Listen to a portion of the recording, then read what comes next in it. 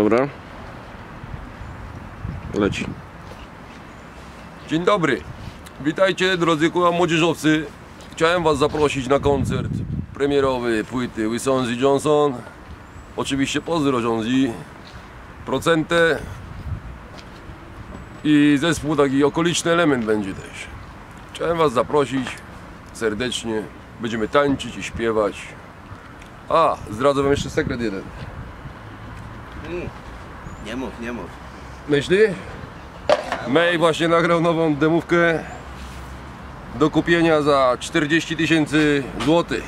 Oczywiście pozdrawiamy gang albański i zapraszamy 12 lutego do Warszawy. Zrobimy niezły rozpierdol. Jo. Bonjour, yo.